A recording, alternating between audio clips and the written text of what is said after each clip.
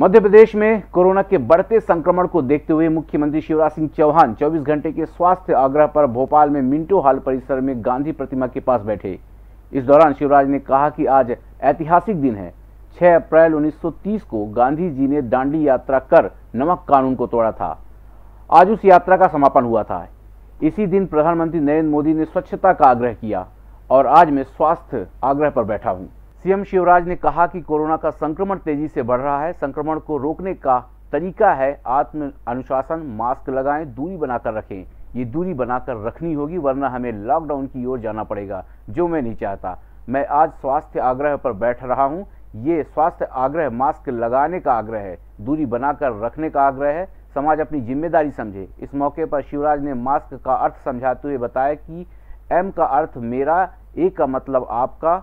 S का अर्थ सुरक्षा और के का मतलब कवच है। यानी मास्क है, मेरा आपका सुरक्षा कवच।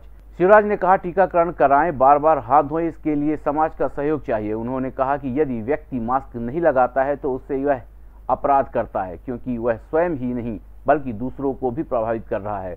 लोगों के मन में यह भाव पैदा होना चाहिए कि कल मैंने अपने परिवार के सदस्यों को मास्क लगाकर जन जागरण की शुरुआत की। मुख्यमंत्री ने कहा, मेरा स्वास्थ्य आग्रह लोगों को अपने स्वास्थ्य के प्रति सजग बनाने का आग्रह है। उन्होंने कहा, यह जागरूकता का अभियान है। दुकान पर यदि कोई भी मास्क न लगा कर आए तो उसे सामान न दें। जो दुकानदार मास्क न लगाए, उससे सामान लेने को आग्रह पूर्वक मना कर दें।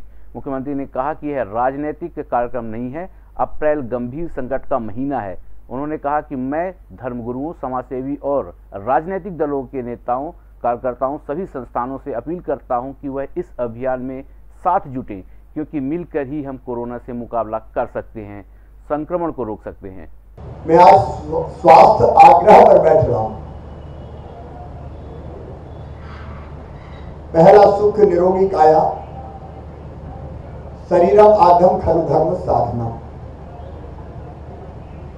कोरोना एक ऐसी महामारी है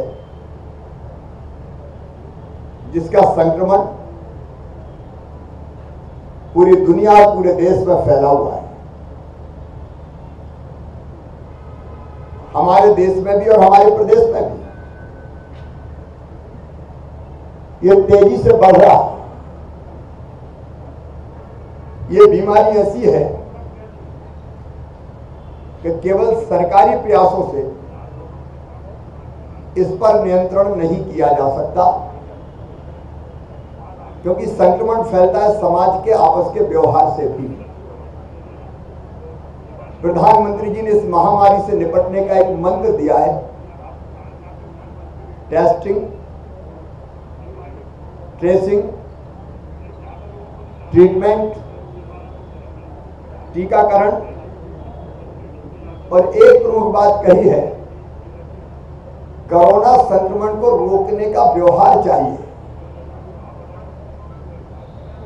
अब बाकी काम सरकार करेगी। टेस्टिंग ट्रेसिंग टीकाकरण ट्रीटमेंट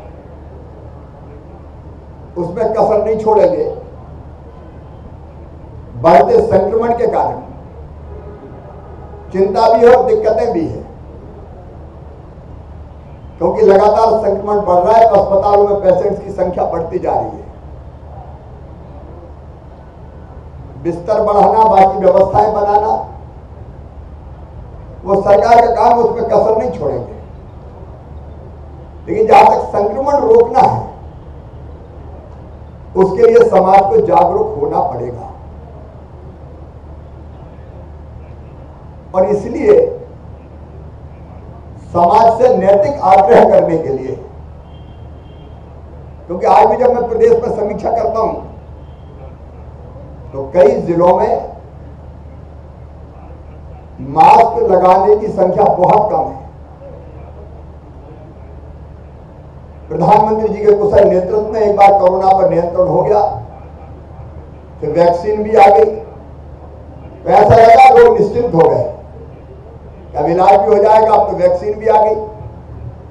और इसलिए फिर कार्यक्रम, कार्यक्रमों में भी संख्या, उत्सव, मेले शादी विवाह पार्टियाँ सब इतनी तेज़ी से हुई कि संक्रमण एक बार फिर से फैल गया। और उसको रोकने का एक उपाय है लॉकडाउन लेकिन लॉकडाउन हमारी अर्थव्यवस्था को तबाह कर देगा बर्बाद कर देगा।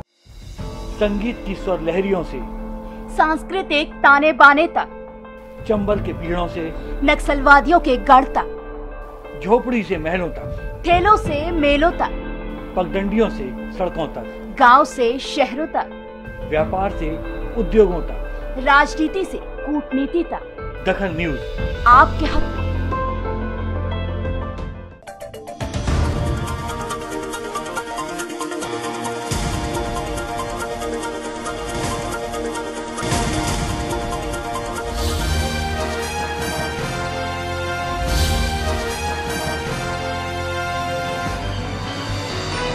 आप देख रहे हैं दखल न्यूज़।